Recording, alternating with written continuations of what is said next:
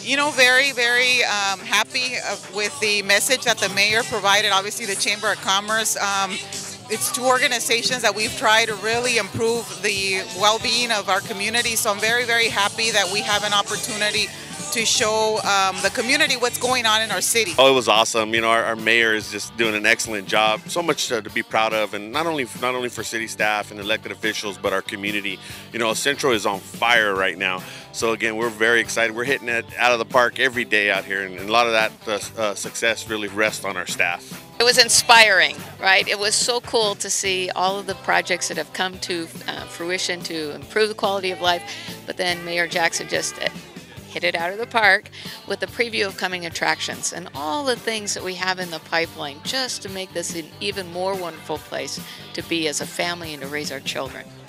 That's exciting. You know, um, we've, we've done some great things in the city of El Centro, and we've got so many great things coming.